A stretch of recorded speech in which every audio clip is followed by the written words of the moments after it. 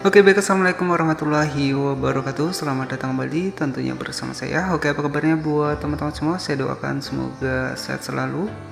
Dan saya doakan semoga rezekinya lancar. Amin. Nah oke jadi pada kesempatan kali ini kita akan membahas ya Cara menggunakan template dari tiktok ya. Jadi template capcut dari tiktok teman-teman ya.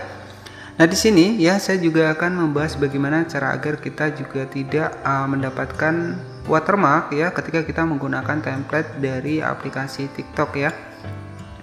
Nah jadi intinya di sini kita akan uh, menggunakan template capcut dari aplikasi TikTok ya. Kemudian beserta uh, untuk menghilangkan watermarknya saya akan membahasnya di video kali ini. Nah di sini kita langsung saja masuk ke dalam aplikasi dari TikToknya teman-teman ya.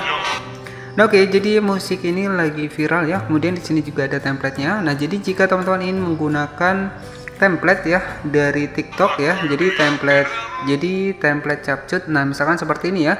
Jadi video ini ada templatenya, yakni adalah template capcut.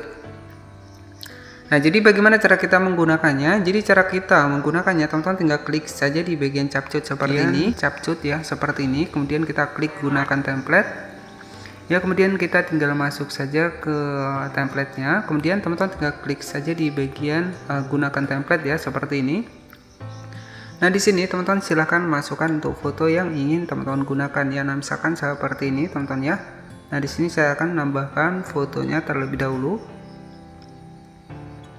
oke di sini saya akan menambahkan kita klik di bagian pertinjau Oke, jadi untuk hasilnya nanti akan seperti ini, teman-teman ya. Jadi untuk menghilangkan watermarknya, teman-teman jangan di skip ya, agar teman-teman juga tahu. Nah, di sini untuk hasilnya adalah seperti ini.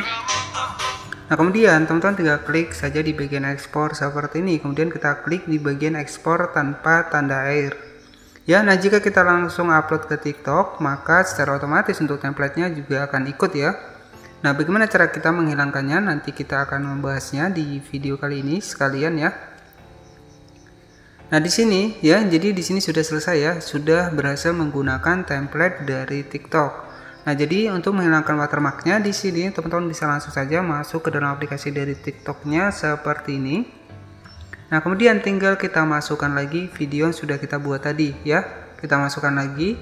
Kemudian kita simpan kembali, teman-teman ya. Nah, kita simpan seperti ini dan setelah kita simpan nah di sini baru kita upload ke dalam aplikasi TikTok nah seperti itu ya untuk cara menghilangkan watermarknya nah di sini tinggal kita upload saja ke aplikasi dari TikToknya Oke, dan trik agar video kita juga banyak view-nya, di sini kita bisa menggunakan musik yang sama ataupun yang lagi viral. Caranya, teman-teman tinggal klik saja seperti ini.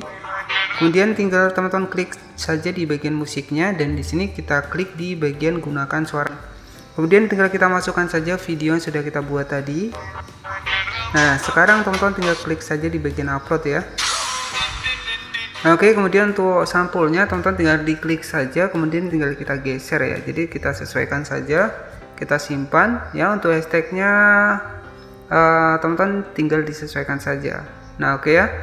Jadi seperti itu ya teman-teman untuk uh, cara menggunakan template dari aplikasi TikTok ya. Nah, di sini tinggal kita upload ya. Jadi nanti bisa kita cek untuk hasilnya, teman-teman ya. Dan untuk hasilnya nanti tanpa watermark. Nah, nanti bisa kita cek ya. Jadi di sini baru upload. Sini sudah jadi, teman-teman ya, dari uh, template yang kita gunakan dari TikTok ya. Ya, ini adalah template capcut. Nah, untuk hasilnya seperti ini. Dan sudah tanpa watermark dari aplikasi capcutnya. Nah, di sini bisa kita cek ya untuk videonya. Nah, di sini tidak ada logo capcutnya, teman-teman ya. Jadi kita sudah berhasil uh, menggunakan template capture dari TikTok kemudian juga tanpa watermark. Nah, Oke, okay, jadi semoga informasi ini bermanfaat. Jangan lupa buat klik tombol subscribe dan aktifkan lonceng notifikasinya agar kamu tidak ketinggalan informasi terbaru dari channel ini. Nah, Oke, selamat malam, selamat beristirahat, dan wassalamualaikum warahmatullahi wabarakatuh.